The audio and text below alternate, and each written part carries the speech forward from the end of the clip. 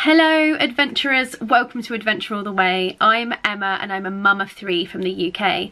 If you're a returning subscriber, you already knew that and you know exactly what this channel's all about. But if you are new here, Welcome, welcome, welcome. This channel is all about home education with some lifestyle stuff thrown in, especially about mum life and parenting three children, two of whom are on the autistic spectrum.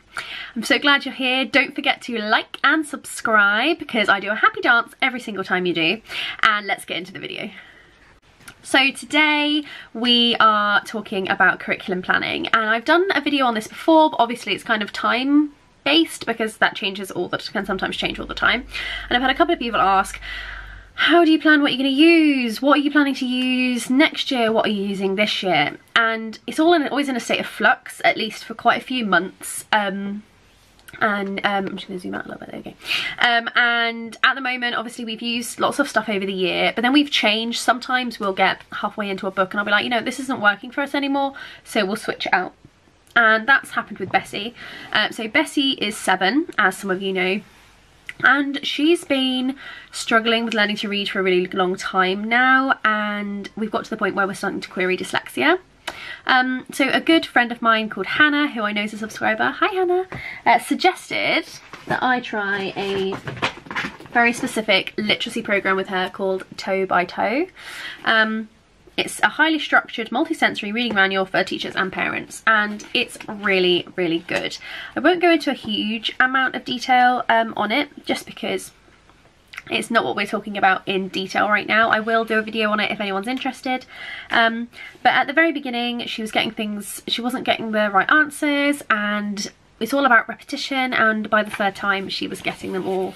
So um, it starts off just by the phonics, phonics knowledge, and then it moves to double sounds. And we've taken a break for a little while um, just because we were really busy and we went on holiday but I'm going to get her back into it uh, this afternoon I think. Um, and it gets I mean if you look at the back it goes all the way through to you know reading paragraphs like this. So um, she's pretty excited about finally actually being able to learn to read um, in a way that she can actually learn because phonics and sight reading just weren't working for her. Um, I've been there thinking about how am I going to get Albert to start learning to read and I did do a video on it a little while ago but um, really the issue was the fact that Bessie just wasn't progressing and now she is and she can see that she's progressing and that's giving her self-confidence a really big boost. So that's something if you have um, any queries of dyslexia or you just have a child who's maybe a little bit different maybe they're on the spectrum uh, maybe they're neurodiverse in another way this is really really good. Uh, thank you Hannah rec for recommending it to me. Uh, so the other couple of things that we are picking up, um, I decided to stop using the um, literacy books that I'd got from CPG just because it was like five different books to work from and it was just really really tricky and I just wasn't I wanted a comp comprehensive literacy program, um, English program for Charles and CBG was the best one I'd found at that point and I just, it just, trying to remember which book to use, it just wasn't working out. So um, I made him a book um, from Twinkl Resources, just covering all of the gaps in his learning, uh, mainly Key Stage 1 stuff that he has kind of struggled with. We're just going back over it. And then I got him this. So this is a nice Collins, brightly colourful cursive writing. He really wants to learn to do cursive writing. Um, otherwise I wouldn't have bothered and um, and he does struggle with some letter formation to try and make it happen um, so brightly coloured this is a age 4 plus so it's not anything particularly taxing it's just the letters and then it goes on to capital letters and then some writing writing some words and stuff I'm gonna get him to do like a couple of page like um a page a week and then I'm going to photocopy them and get him to just do them multiple times like just one page a day um, the other thing is, so so we can't cover all three children, um, I'm also picking up this. I picked up this on Amazon a couple of days ago for Albert. Um, it's an age 3 to 5 scissor skills book. Um, I'll leave all the links to these in the description so you can see. And I just wanted to, because Albert's coming up to four and a half, oh, excuse me, next Easter he will be compulsory school age so I've been starting to think about what I want to do with him. Um, I've decided that I'm not I'm not going to like be like sit down do your work with him um, until he's seven but I will be sitting down with him and getting him to do stuff um, from September because he's way more ready than the other two were at at four and a half five um i'm going to start doing some we do we've been doing flashcards with him phonics flashcards to help his speech um, and i'm going to continue with those go through and also getting him doing some fine motor fine motor skill stuff and getting him to write the um, write the words. However, the reason one of the reasons why we didn't start Charles and Bessie at four and a half, five doing homeschool work is because their fine motor skills were not up to scratch yet. Um, writing was just going to be too difficult for them, so that's why they started at seven. Whereas Albert's already doing very small buttons on a shirt or something like that, and the other two, Bessie still struggles with that. So um, at three years older than him, so I think he's definitely ready for something more. He's definitely ready for something mathematical as well. He's really, really interested in counting things and he's really interested in shapes. Um, so I think I'm going to do, going to start reception level work with him at the time when he would have started reception. Um, but just take it really really slowly. And obviously because we are all year round schoolers we don't take breaks in the same way that schools do. Um, he doesn't have to do as much all in one day. So he may progress a little bit slower but um, it's not going to be that much of a difference. So yes. But so one of the things I wanted to do was help him do some scissor skills. And these are some really things. So it's like it's literally like let's cut out a circle. And cut out the tiger. And when you've cut it out it then instructs you to colour in the picture which is right up his street. And um, he is struggling holding the scissors at the moment um, just getting that action of going like that. But um, it'll come in time. It will come in time so he's really really liking this book so far he did get a bit frustrated with it so it may be that we just change up the scissors. Instead of having regular scissors, I get him the ones that you hold in your hand and you go like this because they are better. And I'm also going to do some tweezers stuff with him um, using the big plastic tweezers that we have um, and and giving getting that, this action, getting his hand, um, getting his hand, you know, developing the muscles a little bit and see see how he gets on. So a couple of things I'm thinking of using. Obviously I will do a curriculum video um, in my not back to school week with my definites of what I am definitely using and I will have the physical stuff with in front of me then. Um, but just to give you guys some stuff to look at while you're potentially deciding what curriculum you're going to be using um, in the coming year if that's what you do. Obviously if you're unschooling you can just stop listening now. Um, but I'm going to be using To continue using Power Maths for mathematics for all of them. Um, I'm not going to be using Power Maths Reception for Albert because it's really dull. it's not great and it does need the massive teacher books to kind of um, you know add to what's in the little tiny books that they do. Um, so I won't be using that for him. I'm going to be using the Schofield and Sims uh, maths books for him for, for his reception year. Um, they're very very good. They have a home educators discount takes them down from 3.95 a book to 3.50 a book. And I love them. They're really bright and colourful really engaging and they're, they're English English curriculum. So I don't have to change anything. Like if I was buying an American curriculum um, and then with him we will be staying with Read Write Inc. as a phonics program. And I've talked about Jolly Phonics and I've talked about Easy Peasy Homeschool um, and I did think about using those because we have the resources already. Um, but I've decided to stick with Read Write Inc. because those were the flash just just because I bought the flashcards. I bought Read Write Inc. flashcards. Albert loves them. And I was like oh okay, we might as well stick with Write Inc now. He really likes it. He's really progressing with it and um, is recognising a lot of sounds um, and the letters already and is blending already. He's, I, I think he'll be reading by the time he's five, um, which is amazing. And I really hope that Bessie catches up a little bit as well because I think she'll be really annoyed if she turns eight and he turns five and he's reading and she's not. So, um, making sure that um, you know everyone's progressing in their own time but also that nobody's feeling sad or left out can be a bit of a struggle and a bit of a juggle, but it's okay. Um, so yes, so I'm going to be doing the Read Write Inc with him. Um, I'll put some links again down in the description of the things I'll be using for him. He is four, he will be five at the end of January. Um, so you don't have to start doing hardcore stuff with them as soon as they're little my first thing would be teaching like let's let's try reading or try maths or um you know just preschool workbooks, the preschool workbooks that they do. Um, I'll leave a link in the description to my favourite one that I, I love using with them and you could just start with that for a reception, like a, kin, um, a, a preschool workbook, a pre-K workbook, um, because it covers everything that they learn in reception really. So Um, with Bessie, we're going to stick with the toe by toe. Um, we're going to be doing some writing with that as well. She's going to have a cursive workbook as well. Um, we're going to do some handwriting um, just to get her into the habit of writing and build up those muscles in her hands. Um, and as, excuse me, and stick up, stick with the toe by toe. Um, I'm not worried about comprehension or punctuation, grammar, spelling, all of that sort of stuff just yet because I want to get her reading first. Um, so that's my priority for her. Um, she'll be moving up to um, year two or level two power maths from year one.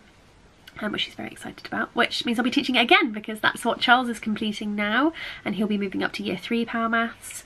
Um, we're also going to be doing some more Charlotte Mason kind of stuff and I will be talking about that in other videos coming up um, kind of changing our home education style a little bit to be more less eclectic and more Charlotte Mason um, in certain areas so we'll be doing nature study more regularly um, and trying to bring in some faith practice into that as well from a um, spiritualist point of view um, and we're also going to be um, doing more art and more um, I'm going to be introducing artists to them. I have a great curriculum. Um, I think it's just it I just here we go. I can just grab it from my shelf.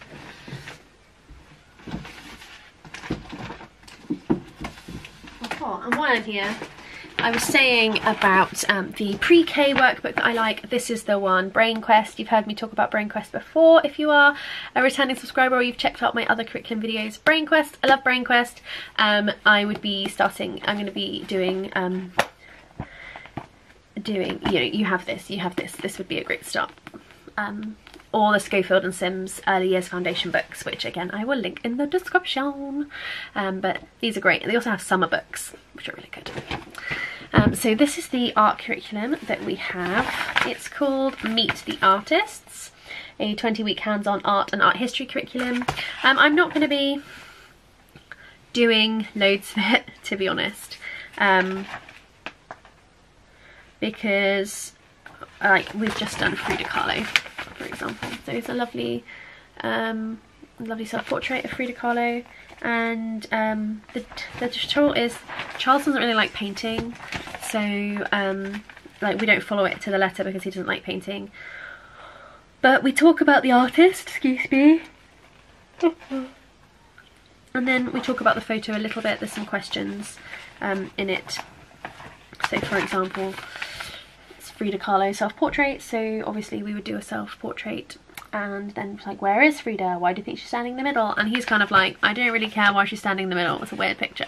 Um, he didn't like it. But we decided so we just looked at it and we talked about Frida Kahlo and her life. We read her biography on here the little bi biographical bit. And then we did our self-portrait and we channeled our inner Frida as it says here and um, used bright colours and shapes in the background. And um, and then we had um, and we do have a book that she's in so we read a bit more about her in there as well. And that's literally just what we did. It's just an excuse to be creative with a little bit more structure but I don't encourage them to create in a structured way because I feel like they should just be able to create and it'd be fine. I'm actually going to be setting up a creation station for them um, downstairs in the lounge. We have this lovely little bar area type thing um, that I'm going to set up as a free creating area. So there's going to be card and googly eyes and pipe cleaners and glue and paint and um, all sorts of things, crayons, markers, that sort of thing. Um, so they and they will be allowed to freely get that out and um, with the agreement that I will tidy it up at the end of the day for them as long as they keep it in that space because what I don't like is like finding creative outbursts, explosions um, all over the house because then I'm like, I shouldn't have to clear this up all the time, guys. It's not my mess. I don't mind you making mess, but I don't want to have to clear it up. So um, I'm going to talk to them about making this, having this creation station and saying to them, you can create as much as you like, but keep it in the space. As long as it's in the space, I will clear up for you and you don't have to do that. Um, I have to change my battery. One sec. There we go. That's better. Um, so, sorry, I just put a bit of Star Trek on while I was uh, changing the battery. Ooh! Don't fall over now. Um, so, yes, so we're going to be doing that a little bit more. Um, and then mainly going to be doing, um, following their interests when it comes to everything else. Um, I, to be honest, I was getting fed up of ticking off boxes in my head of, oh, they've done this, oh, they've done that, oh, they've done this. They've done this subject, they've done this subject, because that's not what they want to do. It's not what I want to do. That's not what we're trying to do here. We're not trying to prepare them. We're not trying to do school at home. And sometimes I forget that.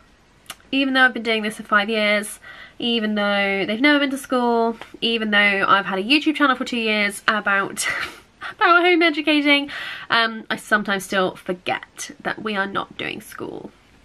So um, we're going to be doing unit studies and I'm going to ask the children to think of a question that they don't know the answer to and then we're going to make posters answering the question um, or a paper mache volcano like you know how far do volcanoes erupt? Um, okay, let's make a paper mache volcano and make a good guess. Um, that sort of thing. You know, we're gonna make dioramas, as uh, the Americans call them, and I'll make posters and one of the things that Bessie's really interested in right now is penguins. We got some plastic toy penguins to play on a tough tray with and she um, she said, how do penguins hunt? And I was like, I don't know. She's like, do they have teeth? Do they, do they, are like that, like a lion? And I was like, no, I don't know. I don't know, I've never seen a penguin hunt before. And she said, oh, okay, well, can we find out? Like, yeah, let's do it. So we're going to make a poster. Um, how do penguins hunt? Uh, we're going to make it glittery and we're going to put penguins on it and we're going to um, then stick up on the wall. My plan is that every time they do one of these unit studies where they make, they answer their question and they do a poster, I'm then going to hole punch them and I'm going to spread them through and then make them a big book. So each year they'll have a book of all of the unit study things that they did. One, it's good because I can show samples of their work if I need to, but also because that's really, really cool. um, it's really fun.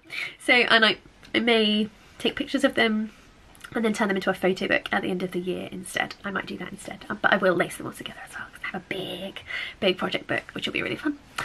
Um, so yes, that's what we're going to do. I think Charles wants to learn about the respiratory system, so that's our plan for him. He's going to, um, his question is how do, how does a human's respiratory system work? So that's the question we're going to ask for him. Uh, Albert just wants to know about Minecraft, so do I have to do a project on Minecraft? Yes, the answer is yes, I have to do a project on Minecraft. He doesn't have a question though. He was just like, I think his question might be, why doesn't mummy like Minecraft? I could give him a unit study worthy of the name of all the reasons why I hate Minecraft. and Roblox also, but you know, that's a story for another day. I do have a video on screen time coming up at some point. So thank you so much for joining me for this video and I will see you on Friday.